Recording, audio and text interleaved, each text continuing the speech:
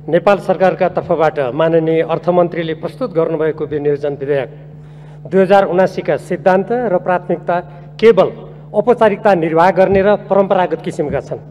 यसमा देश र जनताले सामना गर्नु परिरहेको समग्र राष्ट्रिय तथा आर्थिक समस्याको समाधानतर्फ कुनै उल्लेखनीय कुरा अगाडि सारिएको छैन।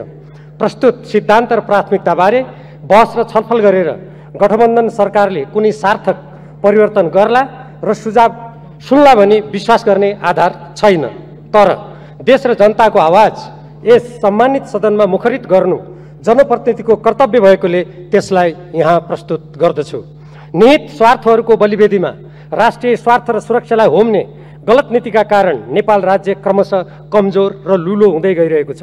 यस स्थितिमा सरकारको नीति र सिद्धान्तले कुनै तात्विक परिवर्तन यस स्थितिमा सरकारको नीति र सिद्धान्तले कुनै तात्विक परिवर्तन गर्ने देखिन्न।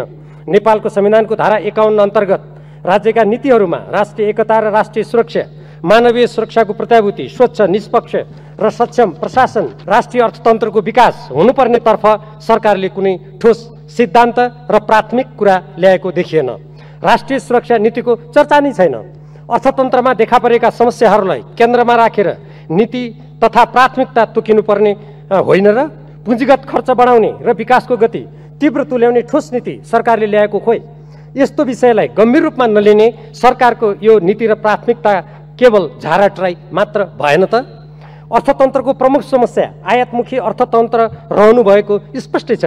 आन्तरिक उत्पादन बढाउने र आयात प्रतिस्थापित प्रतिस्थापन गर्ने नीति नीति विगतमा नेपाली काङ्ग्रेसको बहुमतको सरकार रहेको बेला सबै उद्योग धन्दाहरू कौडीको मोलमा बेचेर समाप्त गरिएको र अन्य नीतिमा अहिलेको गठबन्धनको सरकारले कुनै सार्थक परिवर्तन गर्ने मनसाय राखेको देखिएन। प्रत्येक महिना विदेशी मुद्राको सञ्चिति घट्दो छ। विदेशी मुद्रा सञ्चिति नौ अर्ब एकसट्ठी करोड छ र यसले छ महिनाको आयात मात्र धान्न सक्छ। अर्थतन्त्रमा गम्भीर समस्या आउन लागेको भन्ने अर्थविदहरूको भनाइ आइरहेको बेला विदेशी मुद्राको मुद्राको आर्जन कसरी हुन सक्छ भन्नेतर्फ सरकारको कुनै दृष्टिकोण रहेको देखिएन। यस्तो स्थितिमा नेपाली काङ्ग्रेसका सभापति प्रधानमन्त्री रहनुभएको गठबन्धन सरकारले नेपालको आवश्यकता नै नभएको सुपारी मरिच छोकडा जस्ता वस्तुहरूको आयात गर्न अनुमति दिएको छ। मोबाइल र मोटरसाइकलको आयातमा मूल्यको सीमा माथि राखेर नियन्त्रण गर्ने नाटक गरिएको छ र आयात नियन्त्रण गर्ने भनिएका दस वस्तुहरूको सङ्केत नम्बर नसमेटेर वास्तवमा अन्य समूह मार्फत ती वस्तु भित्र्याउने प्रपञ्च गरिएको छ। यस्तो नीतिले के विदेशी मुद्राको अपव्यय रोकेर देशलाई सम्भावित आर्थिक सङ्कटबाट बचाउन सक्छ? नेपालको कुल ऋण सत्र सय चौतिस अर्ब पुगिसकेको छ र त्यसमध्ये वैदेशिक ऋण नौ सय अठाइस अर्ब रुपियाँ रहेको छ। देशले वार्षिक करिब चार अरब पचास करोड रुपियाँ ब्याजको रूपमा तिर्नु पर्दछ ब्याज मात्रै तिर्नुपर्ने स्थिति छ। वैदेशिक ऋणमध्ये सत्ता सतासी दशमलव चार प्रतिशत विश्व ब्याङ्क एसियाली विकास ब्याङ्क अन्तर्राष्ट्रिय मुद्रा कोष लगायतका बहुराष्ट्रिय अन्तर्राष्ट्रिय संस्थाहरूबाट लिइएको छ।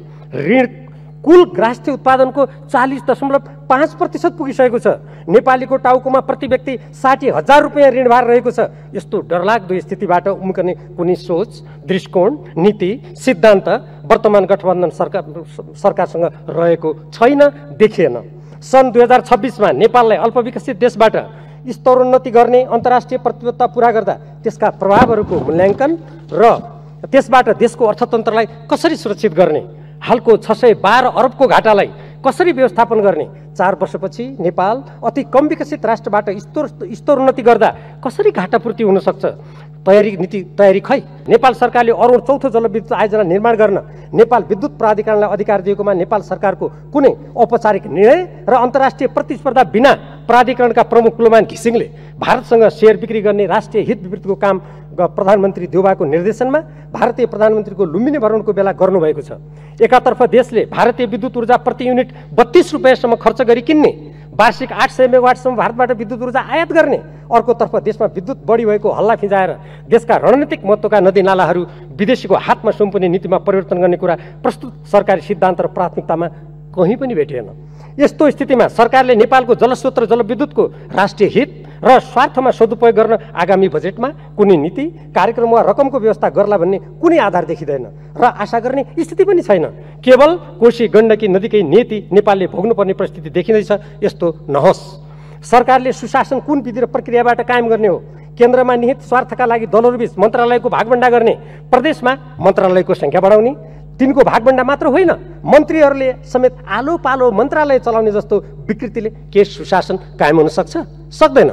विश्वयुद्ध र अशान्तितर्फ विश्वयुद्ध र अशान्तितर्फ धक्लिँदै गएको सङ्केत गर्ने रुस युक्रेन युद्ध तथा एसिया प्रशान्त क्षेत्रमा बढ्दै गएको सैनिकीकरण एवं यसको कारण सिर्जना हुन सक्ने खतरा र सङ्कटलाई ध्यानमा राखेर त्यसको असरबाट देशलाई जोगाउने कुनै चिन्तन र दृष्टिकोण बुद्ध जयन्तीका अवसरमा भारतीय प्रधानमन्त्रीको छेउमा बसिरहेको बेला निदाउने र छटपट गर्ने नेपाली काङ्ग्रेसका सभापति शेरबहादेवको प्रधानता रहेको गठबन्धन सरकारसँग रहेको पाइएन।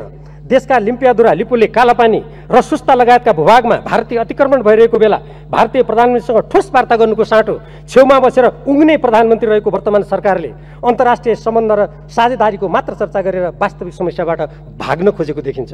नेपालको स्वतन्त्रता सार्वभौमसत्ता र भौगोलिक अखण्डतालाई अक्षुण राख्नुपर्ने राज्यको दायित्व पुरा गर्ने कुरा सरकारको प्राथमिकतामा हुनुपर्छ कि पर्दैन?